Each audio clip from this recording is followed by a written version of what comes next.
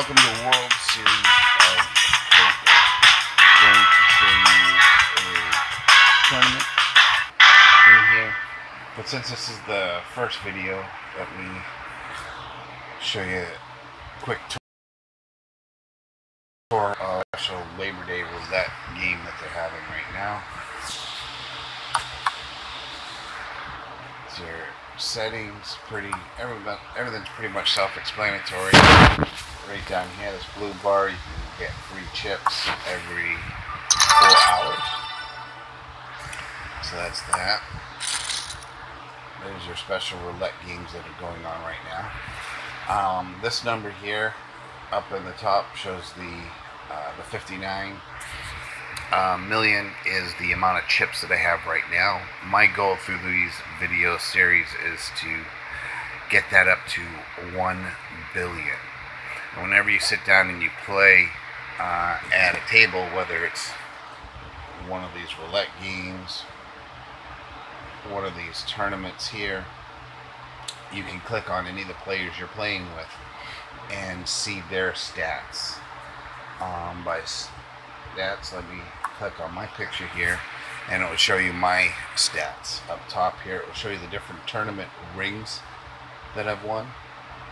Every time you win a tournament five times, it gives you a ring. So through these video series, my goal is to get these next rings here, London and Las Vegas. Um, Alright, showing you my stats again here's my bankroll or the amount of chips that I have 59 million 33,586 and you'll notice as you play this game that the object of the app is to get you to purchase actually pay for more chips um, so you got to be really careful playing this game that you try and play smart you try and um, manage your bankroll as if it was a real bankroll because it will very quickly de- deplete your chips through various uh, playing the tournaments or playing at tables.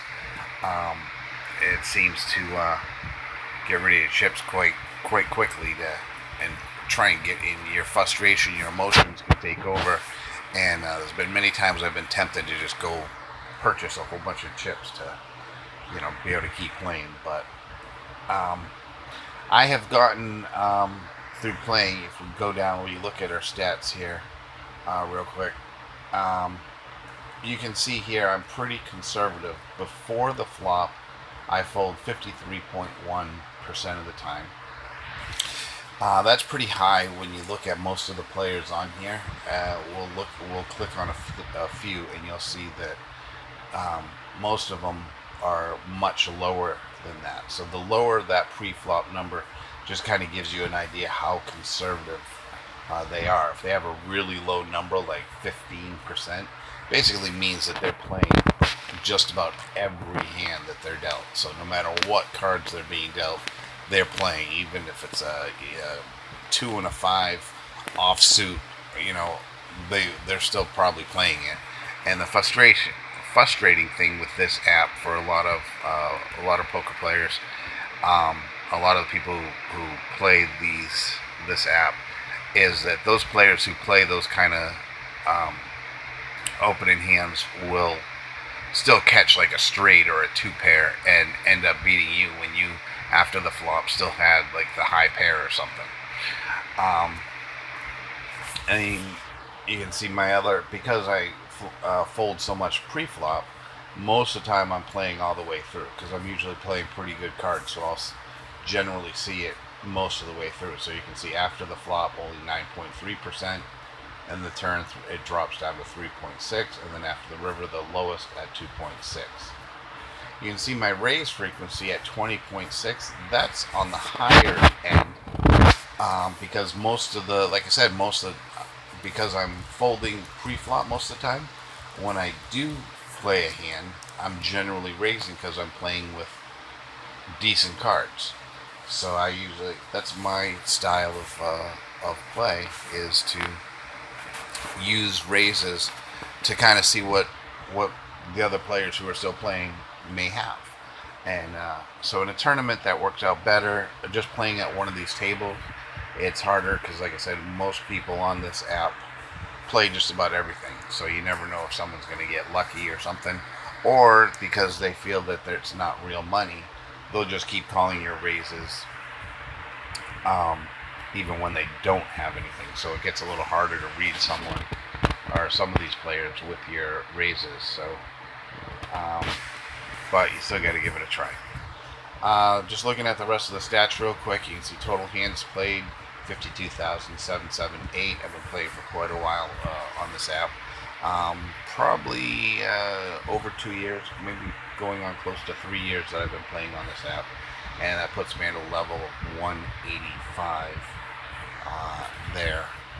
Um, average winning hand, 365,000.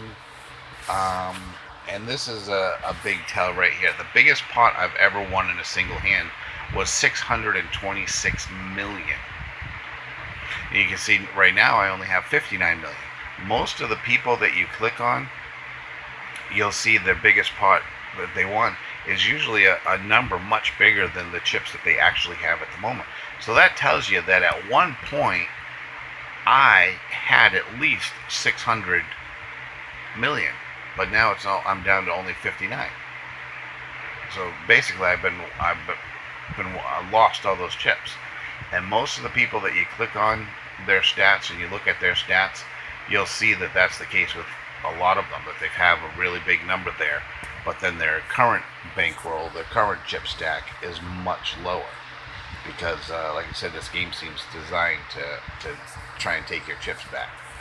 But we're gonna see if we can overcome that and actually go up. And then just looking at the bottom stats here, it shows you the best hand. Pretty much everybody, if they've been playing a while, has gotten a royal flush at some point. The different stakes table, you know, you can start at you know one dollar, two dollar blinds, uh, go all the way up to you know five million, ten million. I think it, some of the tables even go even higher. I didn't actually really play at a five million, ten million dollar table. I think I just clicked on it once to kind of take a look real quick, and then quickly got off because it was uh, um, a little too too much stakes for even when I had uh, a large stack count. Mostly, you can see I play at the 50, 50k, 100k blind table. Uh, that's more my comfort level. And then the last two stats are I've won 233 tournaments and I've been in the money 410 times. All right, let's get to it. Enough stats here. Um, you can see all the tournaments they have. They start with Atlantic City. If you win this tournament, you win 200,000. And down here, you can see that the buy-in is 50,000. And then they go up from there to Paris. Once you get to Paris, all the tournaments you have to win two tables. Um, and then to, to actually win the, the prize. So like um, you can see they go all the way up to Las Vegas, where the buy-in is 80 million. You play at a table of nine players. If you win that table, you win your buy-in back, your 80 million, and you go to the the final table. And if you win the final table, you win another two. Um, it, would be 2.64 minus the 80 million that you already won at the first table. And then, so today we're going to go to the Sydney tournament where you can see it says here final round. That's because I've already won the first table on the uh, Sydney tournament. And the Sydney tournament is a tournament of um, you have to play five players and then win that table, you win your buy-in back, which is five hundred thousand dollars. Then you go to the second table, and if you win the second table of five players, the final table, uh, you win additional six million. Since you already won your five hundred uh, thousand at the first table. All right, let's get in and see what it looks like. Sydney. You can see here it's got the two things. It shows that I already won the first table with the 500. Round two, five players, six million is the first prize. There is a second and third prize, even though there's only five players. Um, I forget what the amount is, but if six million is for first place, I think second is one million and third is five hundred. All right, let's get into it.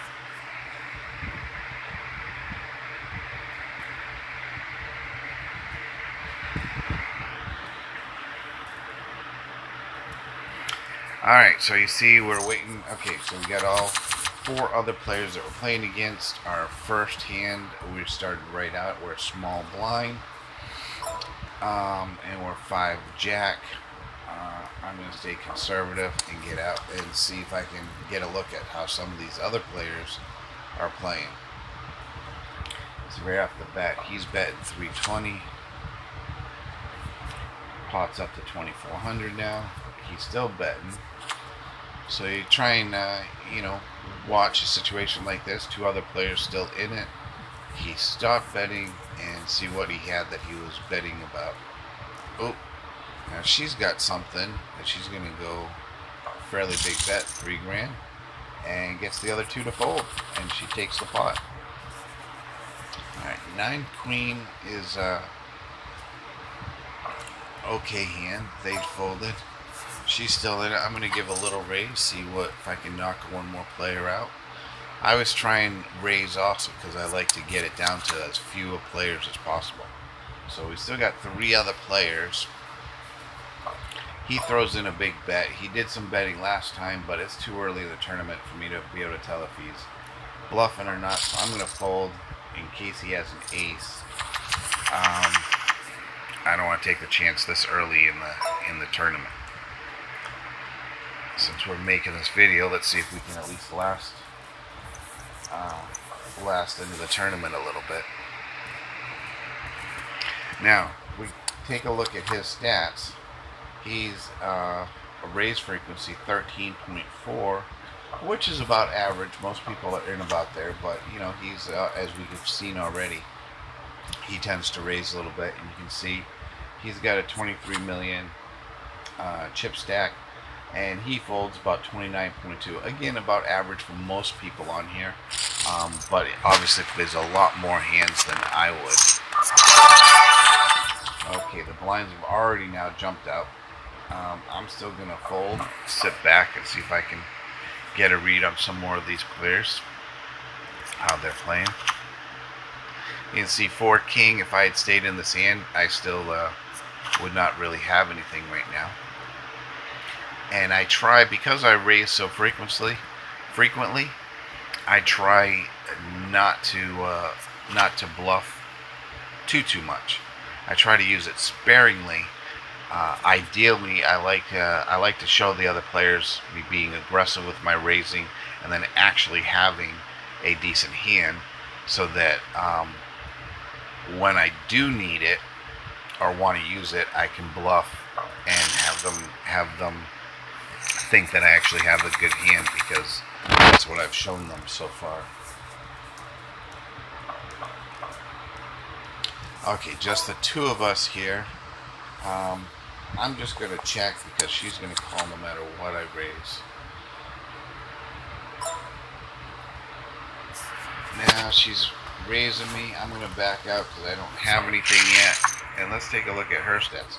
She only supposedly 9.5% of the time and 32.6 pre-flop, so about the same ballpark as that other guy, but raises a little bit less, which tells us that if she's raising, she most likely has something. If she's only raising, you know, 9% of the time. Not always. In a tournament, sometimes you can see someone with, uh, you know, conservative stats. All of a sudden, they're acting really aggressive and and stuff, and kind of going, you know, because they're in a tournament. Sometimes they may change how they're uh, how they usually play if they're at just one of the tables. This uh, shark person here, they don't seem to have been in many hands yet, so my guess is they're pretty conservative. No, same thing in about that 29% there. Uh, generally, they're a little more aggressive, 15.9%. So see there, you can see the blinds go up quite often. And we get a pocket pair.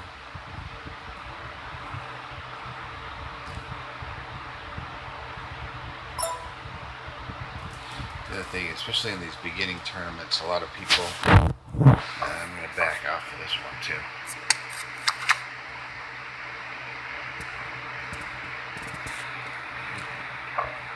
Especially at the beginning of a tournament when the uh, blinds are still relatively low. I like to sit back as much as I can, maybe get uh, you know another player that you know the other players to knock one another off at first, and uh, King eight. That's pretty decent. Let me um, see if I can knock someone off here. Two down to two more players. All right, two more called really nothing on the board there. So if they called with decent hands, they shouldn't have anything right now either. This person, uh, I don't know, if they played with crap cards like 3, 7, 4, they may have got lucky and just caught one right there, but or they may be bluffing an awful lot. Um, I don't want to call one of those bets until, uh, you know, I actually have something to call with it. With that flop there, I, I still didn't have anything, even though I had a king in my hand. Um, uh, it's not not worth it. So even though I I did a bet before flop, she evidently called it and still had one of those cards, low cards. She could have had like an ace four or ace, you know, something like that, and uh, got lucky on the flop and caught a pair, and so that's why she threw out a bet. All right, king ace. Let's see if we can win a hand here finally. Okay, we got we got that one. So since I bet before, I'm just going to throw out a bet uh, still. Of course, that girl was on this one. Okay, we do got someone that bet with us, that called us here. Who knows what they got or why they would have called that, but I'm glad they did, so we can hopefully make something. And they still caught it. Oh, maybe they caught a flush. We're going to have to be careful with that. But we'll go pot. Let's hope they didn't catch that flush. And they didn't. So that was a that was a decent one we got. Okay, we've got some good hands here. Because I was just aggressive on that last one, I'm just going to call at this point. We already got two people out, so it's just the three of us possible straight hand going here. I'm just going to check and play it out, see if we... Uh, uh, it's worth to keep going because we got a possible flush or a possible straight. Let's see what she does here. She's been betting on me a lot and I folded, so let's see what she does. I'm going to have to call that. I probably shouldn't.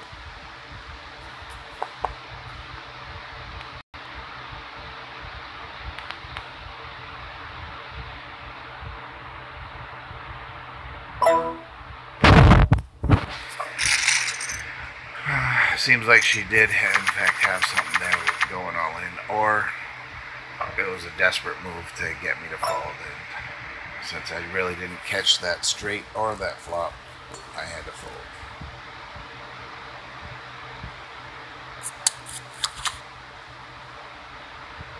Alright, let's hope that nobody has a king.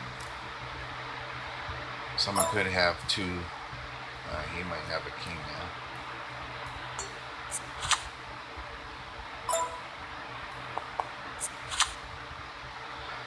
He may have the two diamonds too and just caught his flush. And I think he probably did. Not looking good. Our chip stack is down to 9,800. There's still four players on the table, so we're getting a little bit desperate measures there. It looks like uh, that last one, he caught that flush, or he was acting like he did, so since we didn't catch what we needed, we had to fold.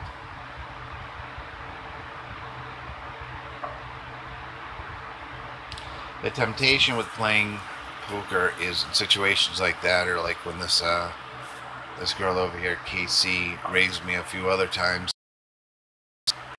The temptation is to call, but it just puts you out of the tournament if you call you don't have anything. Um, they may be bluffing, but if you don't have anything either, then uh, that's a good way to get out early. And she had some decent ones there. Not good. The blinds are raising, and I don't have much left here, so I'm gonna have. I'm big blind, so check. Let's hope I, got lucky with something. Someone's not happy.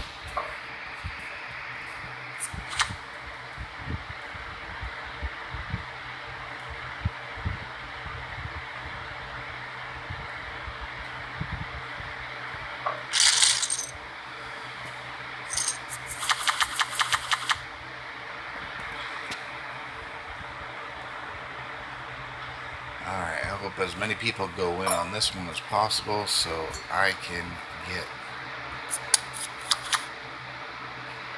hopefully win and get as uh, build my pot back up, uh, my stack back up again.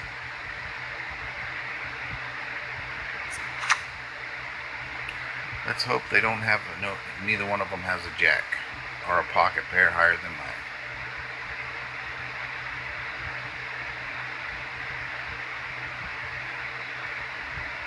Is he bluffing or does he have his jack? Putting out that bet like that. Two pair, and he did. He had his jack. So I am out of the tournament. And that will do it for now. Thanks for joining me, and hopefully on the next one we will win our tournament. Thank you.